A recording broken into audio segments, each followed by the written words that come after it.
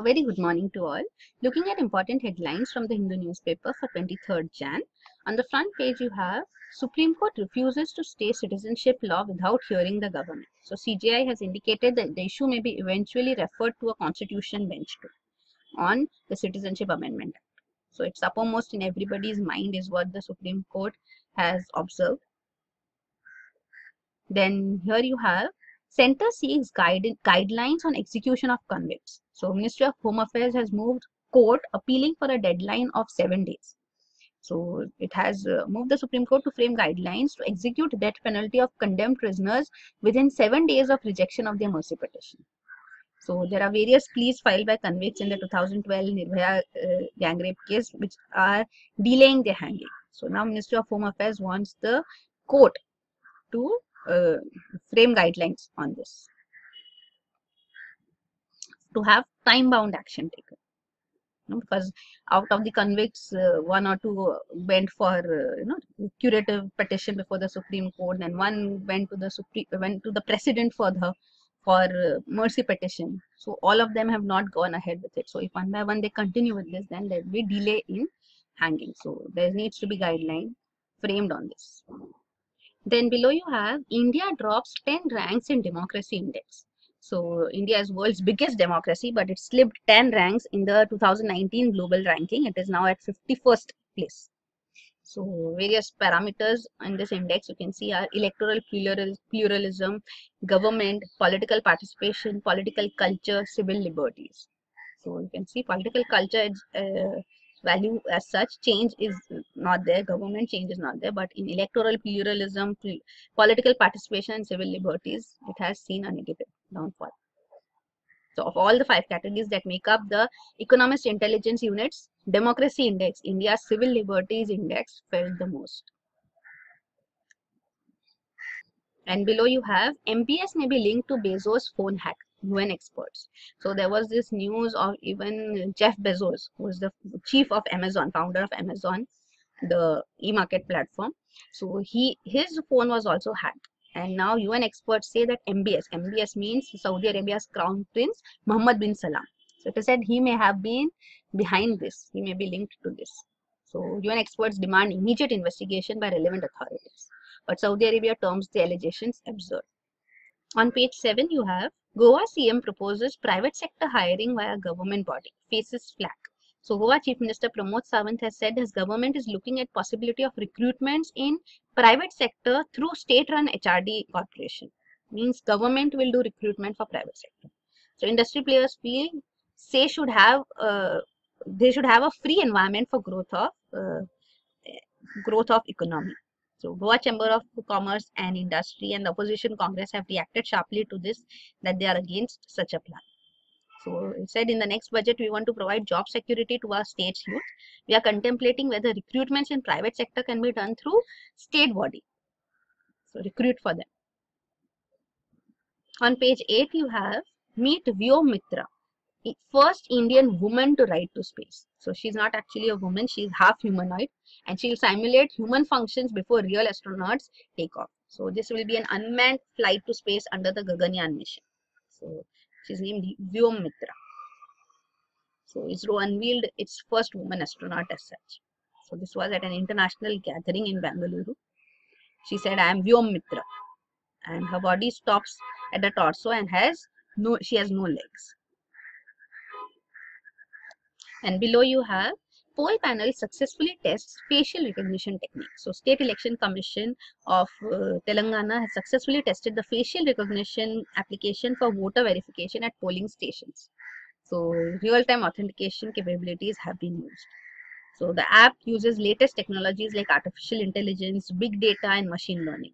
So it was uploaded in mobile phones and tested in 10 polling stations for urban local body elections in Telangana.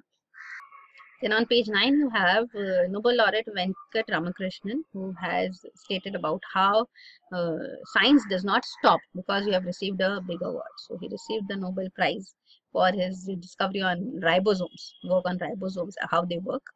So this is regarding him. On the editorial page, the first editorial is Ending Inaction. So this is regarding Supreme Court's ruling on the on the work on the functioning of speaker. So its latest decision on speaker, it as an adjudicating authority under anti-defection law, the Supreme Court has stated that Parliament should replace the speaker with a permanent tribunal or external mechanism to render quick and impartial decisions on questions of defections. So this was what the Supreme Court ruled. It was in news yesterday. So it wants Parliament to make this take this correction, and it also said that uh, you know whether it should whether courts have the power to direct speakers to decide petitions seeking disqualification within a fixed time frame. So this question has been referred to a larger constitution bench. So this reference to a larger bench, it is unnecessary as such because it is not, does not want speaker to be the adjudicating authority is what the Supreme Court has ruled. So this is on this matter, how speakers have not acted impartially. And this is playing with learning. So this is regarding how government supported schools with motivated and trained teachers can ensure learning outcomes improve because recently also we saw annual status of education report 2019 emphasizing on early childhood education in rural areas. Like, you know, preschool system has to be strengthened. So learning, playing with learning. So that reading, you know, and basic arithmetics is known to children. Then the lead article is the flawed spin to India's cotton story. So this article says that country's hybrid seed model for cotton favors seed companies over farmers. So we have seen how BT cotton, genetically modified crops have been promoted in the country. BT cotton uh, covers almost 95% of the area under cotton. So, but then this has favored companies and not the farmers. So that is highlighted here. It's an important issue because even with BT cotton, we have seen that it has failed in uh, in tackling another type of bollworm because BT cotton is has been developed such. It's a hybrid variety. It's developed in such a way that it can uh, it can withstand bollworm. It, bollworm would not affect it, but another form of bollworm actually affected it. So then the advantage of BT cotton is lost as well as uh, it, you have to purchase BT cotton seeds because these are genetically modified seeds. So uh, they have this terminator gene means they cannot be reused to grow crops. So every time the farmer has to purchase them. So it is the industry the seed companies which benefit over the farmers. Then this is think climate change action act global. So this is regarding how grow, growing labels, global stalemate gives India the chance to focus on state and sub-state levels. So climate change action is required. So you have to think at state and sub-state level though we will act globally. So state action plans are important. So that is highlighted here. On OPED page, you have Myanmar's growing dependence on China. So it says Myanmar doesn't have many friendly nations to help it balance ties with uh, China. So Myanmar has is growingly dependent on China. Recently also we saw the news how China plans to have a route constructed which will give it access to the Indian Ocean through Rakhine state in Myanmar, where the Rohingyas have been targeted. So, and Rohingyas have fled the country, and now uh, China plans to have an infrastructure project through it.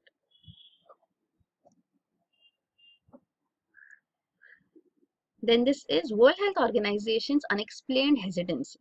So at a time of panic, World Health Organization is releasing information on the coronavirus in dribs and drabs. So there's no clear information, quick information coming whether it is a public health concern of uh, you know international significance. So all that data data has not been provided by world health organization. It's gradually giving information. So that is highlighted here. On page 12 you have another extension for OBC subcategorization panel. So Union Cabinet approved a six-month extension in the tenure of the commission to examine subcategorization of OBC. So it was appointed in 2017 and initially it was appointed for 12 weeks now another extension of six months has been given to this body so uh, it will study the various entries in the central list of OBCs and recommend correction of, of any repetitions, ambiguities, inconsistencies and errors. So it will look at the existing list of OBCs and categorize the castes that have not benefited from reservation in government jobs and education. It's headed by G. Rohini, who is former Chief Justice of Delhi High Court. And now this is Cabinet approves pact with Brazil on legal cooperation. So this agreement seeks to improve criminal prosecution rate in the as such. So it's an India-Brazil bilateral legal and criminal cooperation agreement. So uh, Brazil president is on a visit to India. He is the chief guest at the Republic Day celebration on 26 January. Then below you have presidential order under Article 370 has no relevance. So this is what the PUCL, which is People's Union for Civil Liberties, uh, an organization which has petitioned in the Supreme Court, has said that the temporary provision ended in 1957. So presidential order here abrogating Article 370 has no relevance. So this is the argument on this lines we have discussed earlier too. So it's continuation of that. And below you have Mumbai to remain open 24-7 from Jan 27. So Maharashtra cabinet has cleared a proposal to keep Mumbai open for 24 hours from Jan 27 but with no relaxation in excise rules. So only eateries, shops and cafes can remain open and not bars or pubs. So this is a pet project of tourism minister Aditya Thackeray since 2030. So now this will be implemented. And this is women politicians trolled more. So Amnesty International says that Twitter is a toxic space for Indian women politicians who face substantially higher abuse on the social media platform than their counterparts in US and UK. And if they belong to Muslim community, it is 55% more abuse than others. This is what a study finds. On international page, you have 17 dead as virus spreads to more places. So, of the 470 cases confirmed of uh, this new new coronavirus, uh, there are cases uh, outside China too. You can see in, in US, Korea, Japan, Taiwan. They have reported one case each. Thailand has four cases. So this is a virus which is compared to SARS is now spreading and these are confirmed cases. 17 deaths have taken place so far. And this is again regarding Trump impeachment in the Senate. So that is fine. That will go on to be news for some time. Then this is US president warns of trade war with EU nations now. So after trade war with China has uh, you know, uh, declined with the phase one agreement as such. Uh, truce in the trade war has been signed between US and China. Now US president talks of trade war with European Union nations. He threatens auto tariffs if agreement is not finalized between the two. And this is Pakistan seeks UN US help to resolve conflict with India. So Prime, Pakistan Prime Minister Imran Khan has called on United Nations as such to uh, to resolve conflict and even US resolve conflict with India on Kashmir issue. So this is it. Wants the UN military observer group in India and Pakistan, uh, you know, to be allowed along the LOC line of control. But India maintains that the UNMOGIP established in Jan 1949 has outlived its utility and is irrelevant after the Shimla agreement that has been signed between India and Pakistan and the LOC being finalized. On business page, you have offer enable disable options in cards, RBI. So issuers can take call on existing cards. So RBI has asked issuers of credit and debit cards as well as those of non-bank prepaid payment instruments to provide the option of disabling and enabling cards. So this is a move aimed at customer convenience. So you can enable or disable it and you know so and so it can be enabled for use only at contact based points of usage like ATMs, POS devices within India. So this enable disable provision is what RBI is seeking. So that is it. These are the important headlines. For detailed coverage of current affairs, you can visit our website aashah.com. Thank you.